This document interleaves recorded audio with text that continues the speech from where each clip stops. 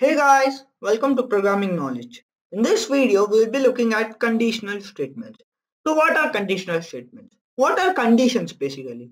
Conditions are those set of rules which define a particular procedure to be followed. What do I mean by that? Let's take an example.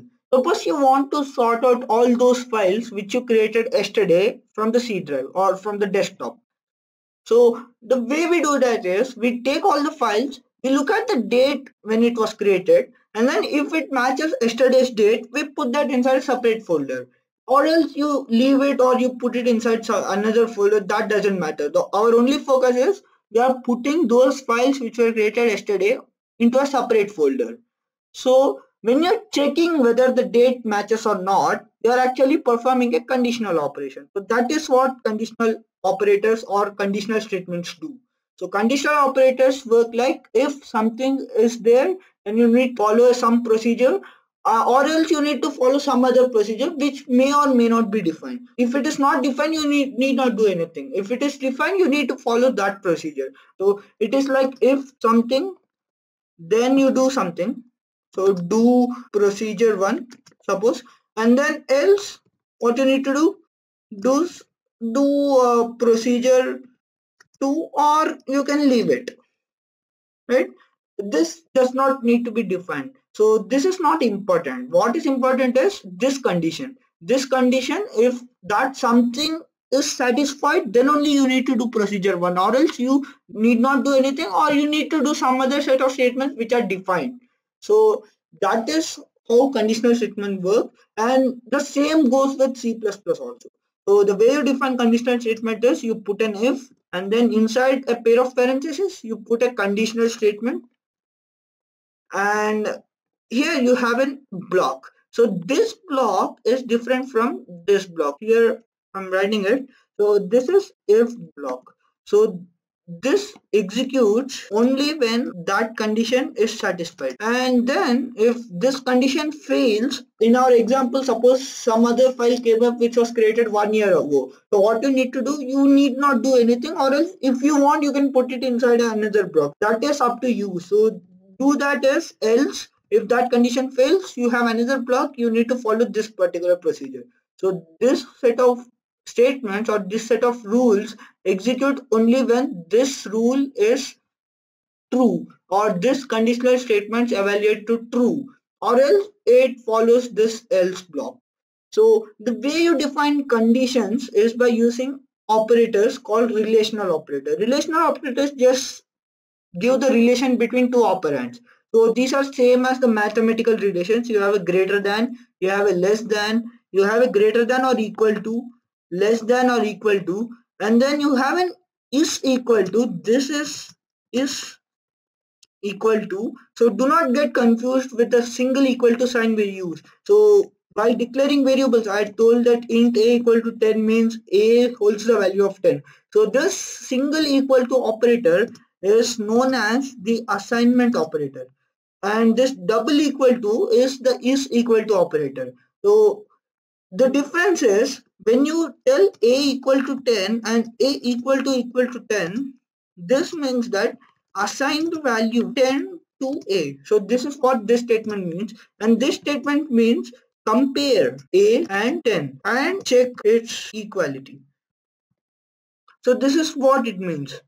So this double equal to means that you, you will take the value of a, you will take 10, you will compare it and if they both are equal then you say it's true or else you, you tell that it's false. So this single equal to operator just means that you put this 10 inside this memory location a. That's what it means. Here another point notice 10 equal to a is an error. So here even though mathematically both the statements are same 10 equal to a cannot be processed uh, because the computer always wants the left hand side to be memory location. Whatever the right hand side is it can be a memory location it can be a constant value it can be anything. So whatever it is it has to go into the left hand memory location by using this operator which is the assignment operator and this double equal to operator can work either way. So even if you put 10 equal to equal to a this is the same meaning. It takes 10 it takes a value of a it compares it and if they are equal it's going to tell yes or else it's going to tell no. So these are the operators. And you have another operator. This is double equal to which is is equal to and then you have a not equal to. Not is basically this exclamation mark over here. This is not equal to. So these are the operators you use to check the conditions so let us look at a quick program. Let us make some program let's say uh, to check whether the person is eligible to let's say drive a vehicle or not. So for the legal age for driving vehicles is 18 years. So let's check whether a person is eligible to drive the vehicle or not or else uh, put an vote or not whether he's an eligible voter or not. We can do that. So let's start by writing the input statement. so first we ask the name enter the name. He's going to enter the name. You know name is going to be a string. So string name i don't know the name. That's why i'm going to leave it blank and i'm going to take in the name over here. So cin name. And now i'm going to take the age of that person. So let's say uh enter okay. Enter your age. Over here now I'm going to take the age as years. So let us mention that also over here in in years, something like that. So I'm going to get the age in years. Number of years is going to be in integers. So I'm just going to take an int age and then I'm going to get the age also. Right? So now I need to check in condition. So what is going to be the condition? I want to tell that the user can drive the vehicle or put the vote only if it's above 18 years of age. So way we do it is you put an if and then inside this pair of brackets you put the condition. So the condition is if his age is greater than or equal to 18 or not. You are going to check that. And then if his age is greater than 18 then you put the statement right uh, let's say you are eligible to vote or a car, something like that. Right? He's eligible. If he's greater than or equal to 18, he's eligible. Else, you can just print sorry. Okay, sorry. You are not eligible. Something like that. What we have done, we have just taken the name, we have taken the age, we have compared the age and we are checking whether the age is greater than or equal to 18 or not. So if he is greater than or equal to 18 or if he is a major, you are going to uh, tell that he is eligible to vote or drive a car or any vehicle or else you are going to say that you are not eligible. So that's how you do that. Let's try and execute this program. So here let's say enter the name something like John and enter your age 12. So here it says sorry you're not eligible let me put a new line after this else statement so that you don't get confused with the compiler's output. And here so let's say some other name um, uh, let's say Harry. And uh, enter your age. He is going to be 21 so here you can see you are eligible to vote or drive a car right? So this is a simple program we have written.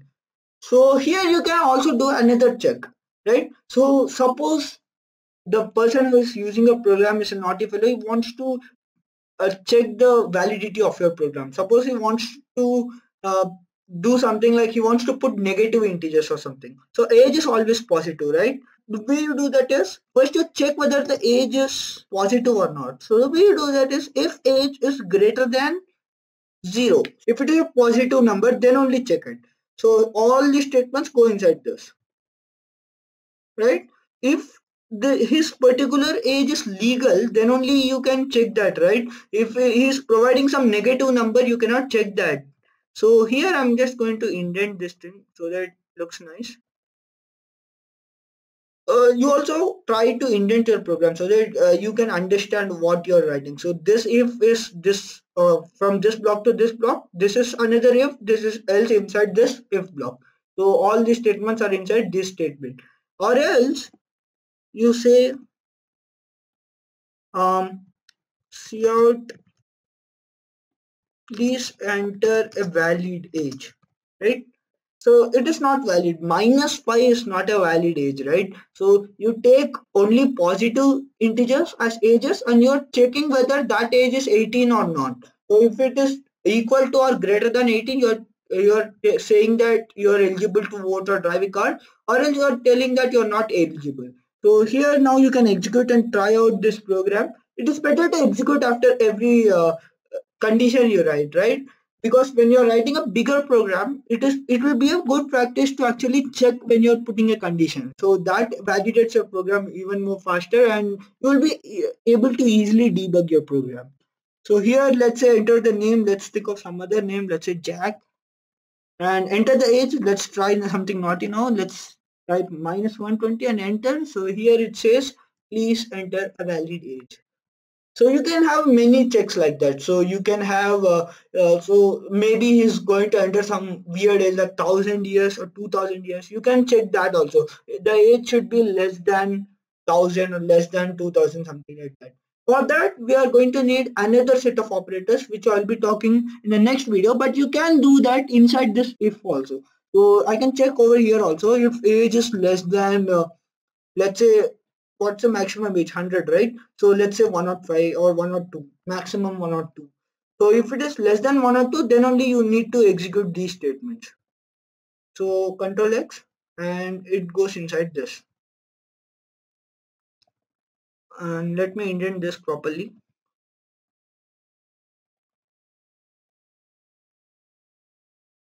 Right? So if age is less than one to this or else you're again going to say the same thing. So just control c and then over here inside this if you're putting is this else. So that is how simple conditional statements are. You're just going to play with conditions. So here i'm checking if it is a positive number and here I'm checking whether it's too big. If it is too big I'm telling that please enter a valid age. And if it's too small also I'm telling that please enter a valid age. And here if it lies between the range of 1 to 101 because 102 is the maximum right? So I put less than 102 which goes up to 101 and greater than 0 starts from 1 so from 1 to 101 it's going to check and if that age is greater than or equal to 18 it's it's going to say that you are eligible to vote or else it's going to say it's, you are not eligible. So that is how you perform a conditional check. So this statements which are written inside an if so i have written a if inside if so this if is the main if inside this i have written this and inside this i have written this if else statement. So this concept is actually known as uh, let me write somewhere over here. Okay on the top I'll write. This is known as nested if. So nested conditional statements. So this is what this is called as. Now if I enter a bigger value than 101 let's say 105 or 200 so that will say you're not uh, you're not entering a valid age and even if I enter some negative numbers also it's going to tell that you're not entering a valid age so that is how you play with conditional statements. You try writing a program which will segregate whether a number is odd or even or not. I know this is a very simple program, you'll find it in the internet, but just try it on your own. So let me give you a hint. An uh, even number uh, when divided by 2 gives remainder 0.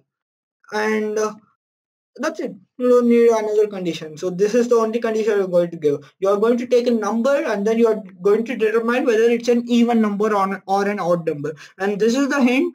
So if an even number is divided by 2 it it will give a remainder as 0 and then if it is an odd number it's going to be some other remainder. Remainder is going to be 1 so you can try that. You can try writing that program. In the next video we will be talking about some other operators which we will be using in our conditional statements. So till then, happy coding.